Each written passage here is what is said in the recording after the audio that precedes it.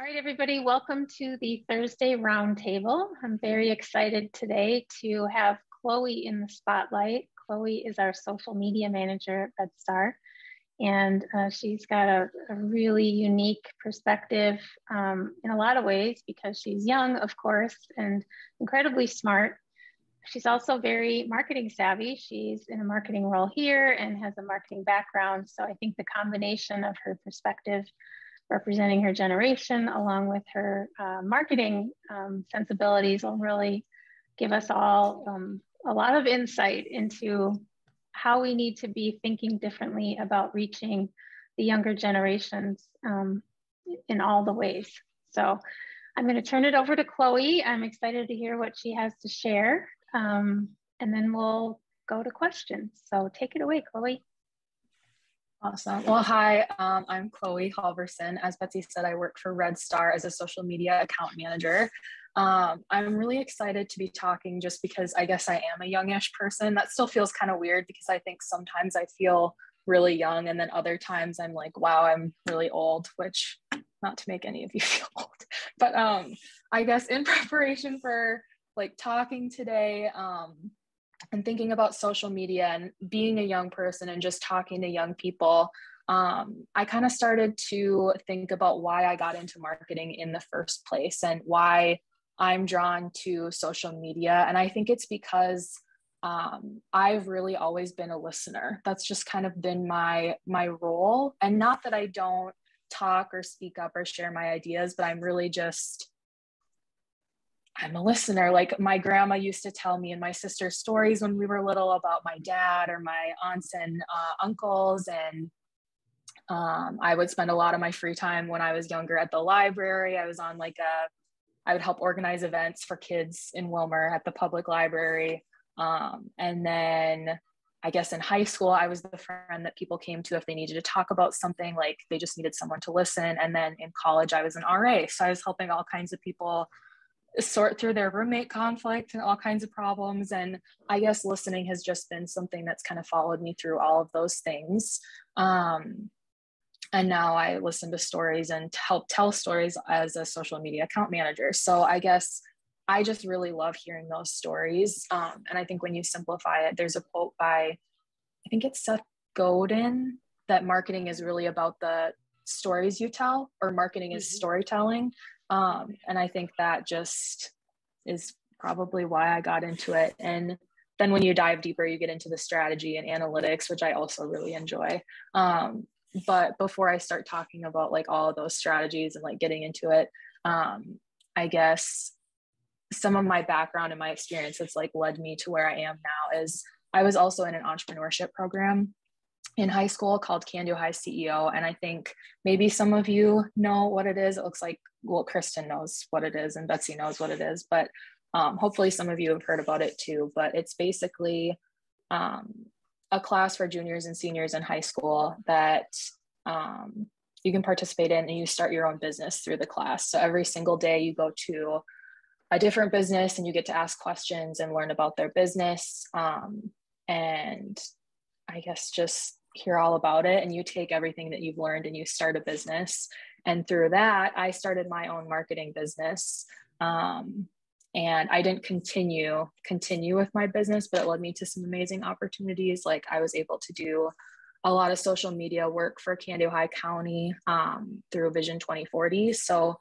that I guess that was really marketing to younger people. It's like showing everyone what's going on in the Willmar Lakes area. So, what events are happening? What businesses are there? Um, I did a lot of like videos to promote Rockin' Robins in the summer or like the Little Crow Ski Show, like showing that that was happening. It was really just an account um, dedicated to telling people what's going on in our area. So, it's really like that that audience was younger people because people I guess the people on the chamber wanted um, me to help involve young people in what's going on in our area. So I did a lot of that. Um, and then I also did an internship with Betsy at um, Workup and Red Star, and I did a little bit with Startup. So I got to do social media there, listen to some more stories, listen to some cool entrepreneurs. Um, and really learn more about entrepreneurship and kind of like some different I don't know, just businesses are so different all over. And when you think about that, it's like when every business is so different, how do you market to younger people?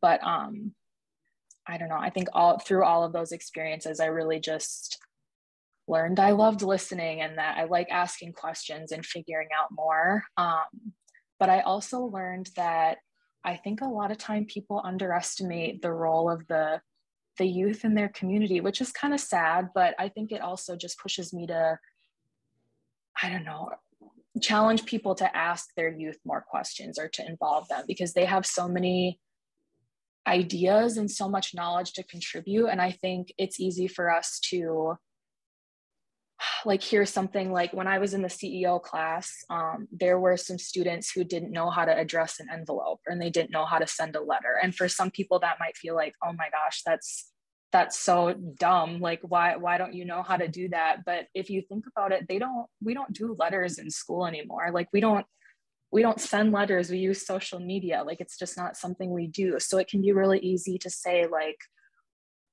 to shame youth for not knowing what they're doing or like oh this generation is coming up and they don't know what we're doing but we're the ones that are teaching them so i think on it's on us sometimes to like take that extra effort to like ask what ask what they're doing what they want to be doing like tell them what we've done. Because if you're not passing those things along or asking questions like how is anyone ever going to know you know? Like that's the whole thing of storytelling is like you're passing down through generations. So i just think it's so important to do that. Um and it's like how many times do we sit in a I was I was talking to Betsy and Gina about this a little bit, but how many times we sit in a room and we're trying to decide something that's going to affect the youth in our communities. And we have adults who have brought like their young teenagers or kids and we don't ask them their perspective or what they're thinking. So i just i think it can be easy to let the adults decide and sometimes the adults do need to make the ultimate decision but the decisions we're making whether it's on a small or a big scale are definitely affecting our young people. So yeah i think just through all of those experiences it really taught me to like give myself permission to ask questions and speak up and be curious even though like my role is to listen. So yeah i would just encourage you to ask the young people in your community to share their perspective and um, they might offer up something that you had never considered before and then you're just like wow like i had never thought of that which makes sense because young people are growing up in this age of social media where they're literally from the age of two they're watching stuff something on an ipad or learning how to do something. So it's just such a different perspective that can be brought. Um, yeah so i guess i want to pause there and just see if anyone has any questions about like i guess my experience through those things before i go into some strategies and things that I would do to involve young people, I guess, through marketing. Yeah, I have a question, Chloe. Um, yeah. You mentioned shaming uh, youth around not being able to do certain things, and that really struck me because I think it's on point. and we don't like to admit it, us older generation, but it's it's it is shaming. Um, what are some other things that we tend to do that around with young people? Yeah, that's a good question. I think I think really a lot of the time is it's just like just asking asking them their perspective because a lot of times like I remember as a kid it wasn't intentional but you're just with with a group of adults and they're talking about something. And maybe this was just me but like I was always thinking like oh what about this? or like oh this is this would be interesting. But nobody really asks you when you're a kid what you think about something. So it can be easy to just kind of sit there and and listen. And that's again that maybe is a personality thing because i'm a little more introverted. But i think when we ask just ask questions and like ask young kids their perspective um, i think another thing that's easy to do is when we do ask kids something or when young people do ask a question like sometimes you look at them like oh that was a dumb question. So if so i think just there's that saying when you're in high school, or at least they said it a lot when I was in high school, like no question is a dumb question, which I think is fair because everyone comes from a different background, like a different skill set, like everyone knows different things. So Chloe, I, I have a um you're giving me a thought around this fine line I think we're walking in mm-hmm. this even in this conversation and this topic and that I think we do shame our younger generation because they're on social media all the time. Yeah. We say it as if it's the worst possible thing or it's ruining them or it's something. Um, it's lazy, whatever. But on the flip side, we're trying to strategically use social media and we all recognize that that is the most powerful way to reach people. So we're kind of talking out of both sides of our mouth. What's your thoughts about that? Yeah, I think I would agree. We are we are in a day and age where marketing is so social media heavy and even in our personal lives people use social media all the time and that's not to say that we should be on social media all the time because like there is a lot of like mental health issues surrounding social media and kids growing up with social media and the like self-image issues and like constantly comparing yourself to like this ideal like perfect person you're seeing on the internet. Like it can be really really damaging to be on social media all the time but again like social media is so central to i don't know our social lives now like i the way i connect with my grandma or my relatives in wyoming is i go on facebook like that's how i connect with them we don't really i guess i call my grandma often and i see her but like social media is just used as a way to connect with people. Um, so I think it can be a really amazing tool and we shouldn't really shame people for being on it. It's when it becomes like like an unhealthy environment is when it's like okay, maybe it's time to take a step back. Cuz I yeah. think young people growing up like because social media is so much a part of their lives, it's almost like they can't like sometimes it's harder to step away whereas like me now i grew up with social media but it was also part of my job so i can still take a step away and be like okay it's take, time to take a little bit of a break okay all right well very good thoughts around that um, go ahead you sound like you have some strategy ideas for us can i ask a question before she yeah. moves on yeah um, I also, one of the things as you're talking about shame and storytelling, I'm also thinking of uh, like dismissing. Like as an adult, we dismiss the yeah. importance and perspective of young people. And as I as you're talking, I'm thinking about a couple of things. Like I'm thinking of as I know the generation, or at least the age that you're at, um, I'm, I'm curious, when did you start um, interacting with technology? Um, and then also, when is that time in your age, in your age level, or maybe where you were in life, when you could feel that you were not being dismissed anymore? Because I think that that dismissing happens. We do as an adult i do it. I know that now and i'm telling you i'm going to do the best i can to stop doing that. But um, it's one of those uh, where we have to mine our biases like all the time and unearth them pull them out by the root and that's a lot of work and i just feel like this is you are bringing up such an important topic because no matter where we are, we need to value young people and their perspectives because they're humans just like us.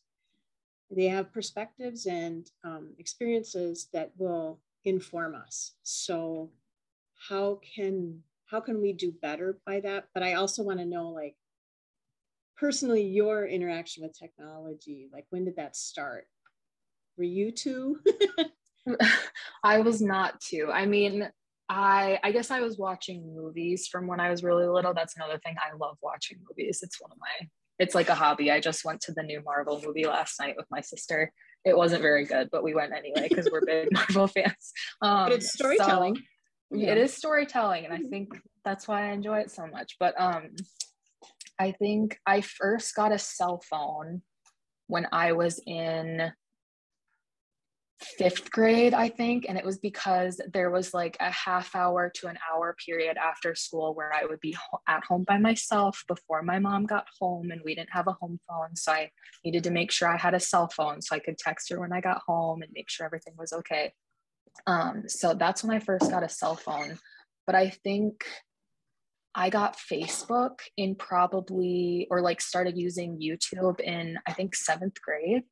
So that's like like middle school onward social mm-hmm. media was like something i would do. Like it was a part of my sorry my chair is squeaking because it's like dry or humid in here. I don't know. But um so yeah like seventh seventh grade was when i got on social media. And i think now kids get on social media a lot younger which is just kind of crazy. Um but yeah was didn't you have a second part to your question yeah no? the dismissing part. The yeah. dismissing. I think sometimes, honestly, maybe it's just because depending on what I'm wearing or how I'm dressed, I feel like people still think I'm I'm younger, and so like I don't know, just people will will look at you like, oh, like you're you're a little young to be here, or like I don't know how to explain it, but there are still times where I feel like people see me as a young person. And so when I contribute something, they're like, oh, like they're, it's more a surprise, like, oh, I hadn't thought about that. Like this young person is telling me something. But I think the last time I actually remember being dismissed and told, like, oh, you're too young to understand was, I think I was honestly probably a sophomore in college and it was a meeting with um, i think it was like school school officials or like administrative people and i was trying to like contribute something and like oh no like this is for this is for the counselors or the adults or whatever else to decide and i was like oh well that's fine but you should think about this and then i went on my merry way but good for you yeah it, it's it's an interesting thing and i i don't know even being in college i think uh like young people are dismissed a lot more because they're still seen as like oh you're still learning but we learn all our lives so i don't know how mm-hmm. much yeah. much stake that has in it. Well if i ever do that to you you call me on it. You say, say, well Kristen. actually i think listen yeah because here's the other thing that happens when you're a mom and you your mom and I are friends. And so then I see you as kid. And so then I carry kid around with me. And it's not your fault. It's me you know in my like you know little grid system but I have ever since you started this like you're on here you're a face among all the other faces I'm like whoa she is so amazing. And I'm I do not see you as kid anymore. And you know that's the that's the other thing i just i'm i have to mind that bias unearth it and then clear it from you know it's so it's hard work we all have to do it and i just think you're re- really shining a light on something that we just don't we take for granted. So i think it's really important. Yeah and i think it's also interesting like coming from smaller towns where people know like people know my mom people know my dad and like when when is that period where you stop getting looked at as like oh like Rhonda or Fred's kid and oh it's Chloe the adult professional who works for Red Star. So that's something also that's like a very a very interesting shift working for um or just like working in a small town or being from a small town it's like I, i'm sure a lot of people my age deal with that as well as like it's not a bad thing. Like I love that people recognize me. They're like, oh, like you're you're Rhonda's daughter. Oh my gosh, you look so much like her. Or like, oh, like your friends. Like I I love that because I love my parents. But um, there is definitely a shift that happens somewhere in the past or next couple years where people see me as like not someone's kid and an actual working adult. So right, it's just kind of interesting dynamic, like layer there as well. Well, you're definitely All making right. that move. Yeah. Well, that's good.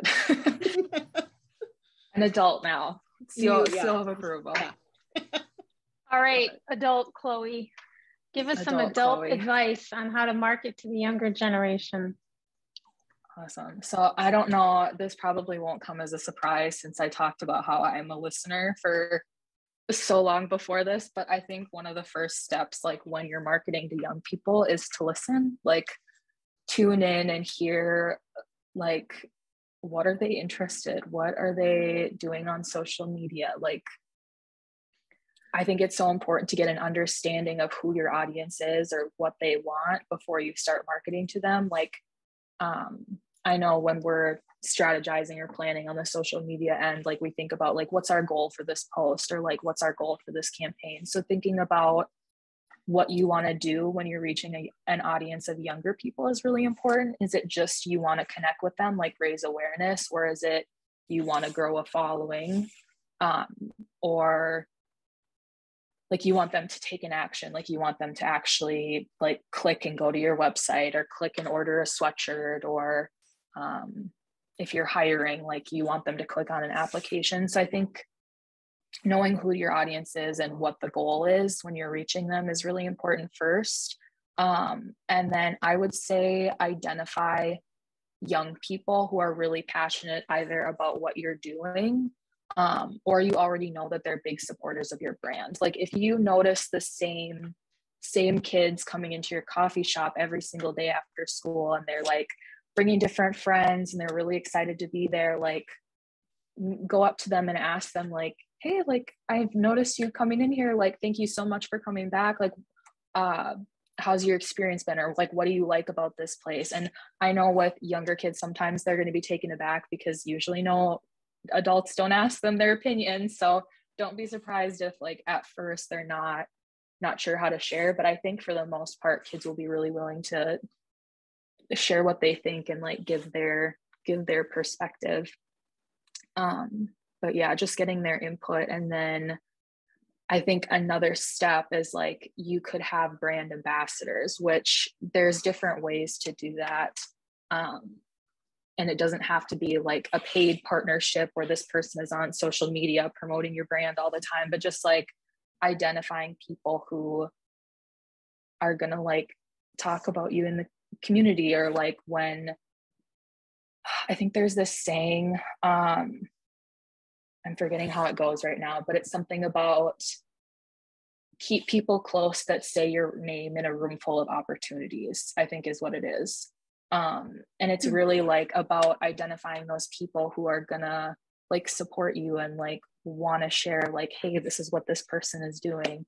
Um, and i think you can kind of have that approach when you're looking for young people to be ambassadors for your brand or like yeah. So i think identifying those people that are just passionate either about what you're doing or like your business are just that's just really important. Um I would also say researching different trends, which doesn't have to be like, I don't want to like scare you, like formal research. It doesn't have to be super formal. It's really like going on to Instagram or Snapchat or Facebook and just looking for either like com- competitors or similar brands and seeing what they're doing. Like, how are they reaching young people if they have a younger audience? Um, like, what hashtags are they using? If you're on TikTok, what sounds are people using, um, and like what kind of t- content is out there. I know one that's pretty, like one type of content that's pretty popular right now is Polaroid film or Polaroid photos. Um, a lot of people are using like old Polaroid cameras, taking a bunch of pictures, and then they'll get it developed and then share those photos on social media. So if you're trying to reach younger people, that might be like a cool strategy to like get a Polaroid camera and leave it out for people to take pictures or just take pictures of your like coworkers or your staff or whatever else in action and then sharing those. Um, i think that would kind of be fun to do. I i want to do that for something as well because i think it would be pretty cool. Um, and then i think i said this earlier but a little a little different. So ask questions but i think utilize the polls and question boxes on like instagram facebook or the comments because I think when you have an audience um, already and you want to get their perspective and keep them engaged like asking them for their input and feedback is a really good way to to do that because it makes them feel valued like you want to know what what they're interested in like what they want to see if you um like say for example you're you're a metal shop and you want to do like a cool project on the side and you say oh like what kind of project do you want to see? Like if people comment and tell you like that's a a good way to get ideas but also like makes people feel valued. Or if you're asking a question about um, say in a restaurant like what specials would you like to see this week? Or what flavors would you like us to try? Or um, yeah just different things like that. I think the question in the polls box could be could be really interesting. Um, and then i think also in general when you find common ground with someone to connect on something that's really just like an easy way to start start building a connection building an audience. Um I'm trying to think. If you're on instagram specifically i would say that's such a visual a visual platform. So creating a brand or like creating visuals on your page that are just really engaging and pull people in um like for me that's i really like following design accounts online um, so whether that's like graphic design or marketing or it's card companies or it's like renovations, I like following like really bright, colorful things. Um, I'm wearing black and white right now, so it's not very colorful, but like I follow accounts that literally their page, I can just see all of this like blue and green and purple and whatever else. Um, and so for me, that's like visually appealing to me, but also seeing like just a cohesive like collection of photos that are visually appealing. Um, Chloe, can you um, give us a sense of what is a typical person your age using social media for? And what's the combination of social media platforms they use and how do they use them? Yeah, I would say probably the two main platforms that young people are using right now. So this is like when I say young people, I'm talking people probably middle school to like college. And that's a very wide range. And it's definitely going to vary a lot because that is a wide range. But I would say that Instagram and TikTok are probably the two most common across that group. Um, and then there's something called VSCO that's pretty popular as well, but that's a place to just post photos. So I wouldn't say that that's necessarily a, it could be a place to market. I haven't really thought about it.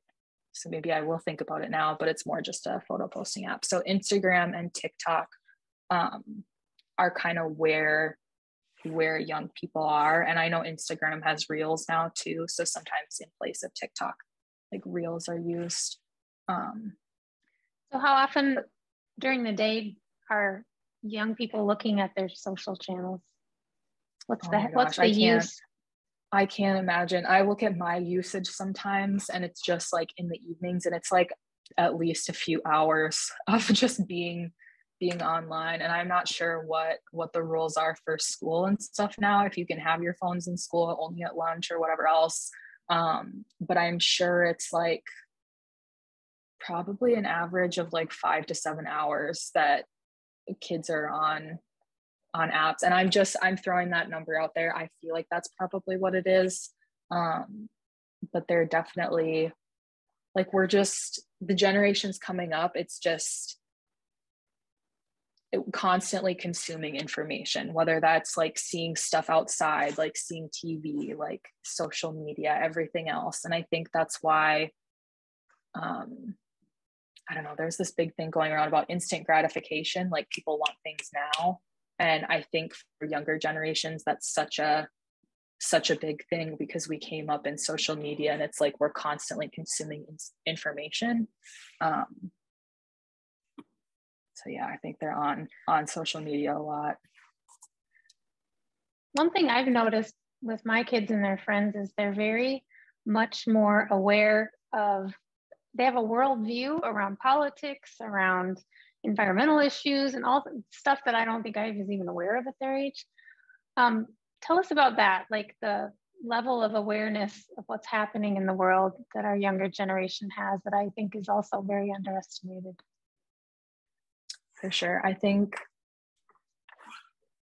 I guess the main source of news used to be like, oh, I talked to Al down at the gas station and he gave me the update on the town, or you listen to the radio or the newspaper, and then like TV's in the news. And now social media has become such a large place to share news and share information. So I think a lot of like if you look at the polls and the turnout of young people in the last like 10 plus well 10-ish years i would say but probably a little farther back it's so much higher because social media allows like younger generations to stay involved in what's going on like politically like mm-hmm. environmentally just like in the world um and i think that's something that was very much a part of of my experience like people use social media as a tool for education as well and that didn't used to be so much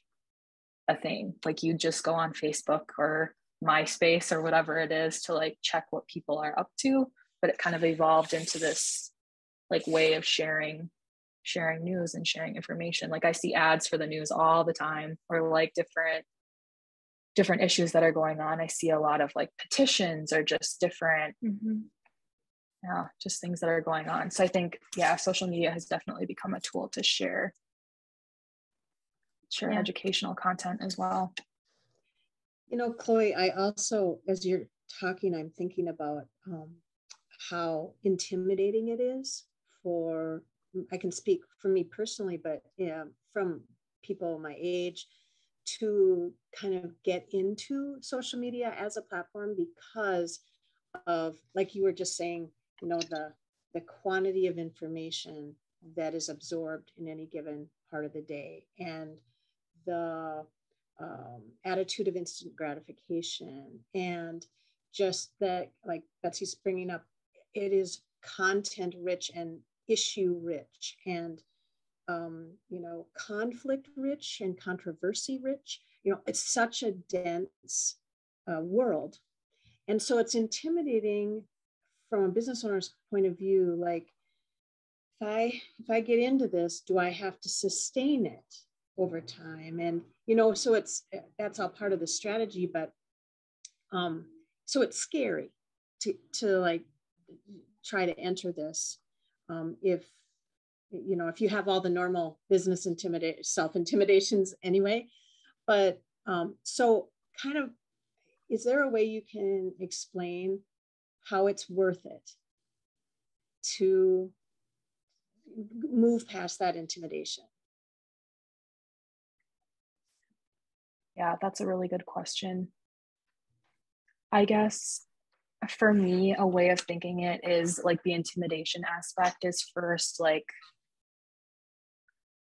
going outside of your comfort zone can be scary, but there is there's not as much growth in your comfort zone you know? Sometimes you have to go out of it to grow which can be scary and like i think anyone here who has started a business or done one knows that like you've had to make some scary decisions and do some scary things but for instagram or social media specifically i think looking at it like you don't have to reach everyone on the internet you're just trying to find those people that really want to connect with you and you want to connect with them. So I think the value that comes from social media is creating that community around your business and your brand and really being able to provide like just engaging content or information or just like educational stuff about you and your business to those people who are really going to find value in it. And like you can listen to and learn from each other um, and just like create a fun space for people to like see what your business is about. Um, so i think social media there can be a lot of pressure and there can be this constant like oh my gosh i have to post every single day. But i think for me at least there's a balance between quantity and quality i think it's a happy medium where like you're putting out content enough that you're keeping your your audience engaged but you're also providing them with information or photos that you find really valuable or you really want to share with them. Yeah. I think I want just a, a little YouTube snippet of just you saying that whole answer. And I just want to replay it and replay it and replay it.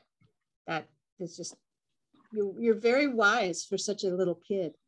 We can we can they, for for such a little kid. Um, I think because I was just always such a such a listener, just like I was. Ah. I think people also don't realize how much kids and young adults like they know what you're saying, like they can yes. hear you.